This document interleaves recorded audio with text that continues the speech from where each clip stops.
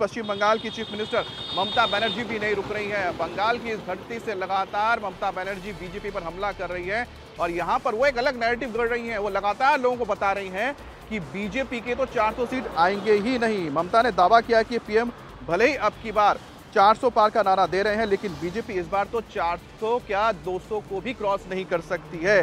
ममता ने कहा कि इस बार बीजेपी सत्ता में लौट कर नहीं आ रही है और उनकी जो गारंटी है, यानी कि जो मोदी गारंटी दे रहे हैं वो जमीन पर नहीं उतरने वाला है बंगाल के बनगांव की एक रैली में उन्होंने हमला बोलते हुए इंडिया अलायंस को लेकर बड़ी भविष्यवाणी कर दी है ममता ने कहा है कि इस बार सरकार इंडिया अलायंस की बढ़ेगी और गठबंधन को करीब 300 से ज्यादा सीटें मिलने जा रही हैं এবার যদি জিজ্ঞেস করেন দিদি খবর কি আছে কিছু আমি বলি হ্যাঁ খবর আছে জব্বর খবর খবরটা কি না এবার হাওয়া বদল হচ্ছে। হাওয়া বদল মানে কি?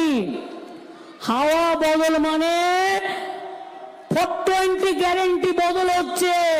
এখনও পর্যন্ত যা মোটামুটি এসছে থার্ড ফোর্থ পেজ হয়ে গেছে।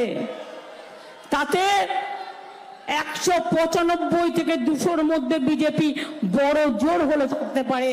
আর ইন্ডিয়া জোট পাবে দুশো পঁচানব্বই থেকে তিনশো পনেরো।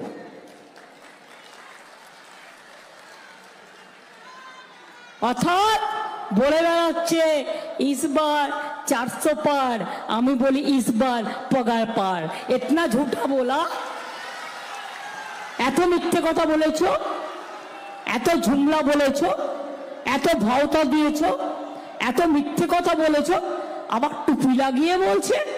বাঙালিরা চায় মোদি আসুক বাঙালিরা কেউ চায় না। তুমি তো কলঙ্ক।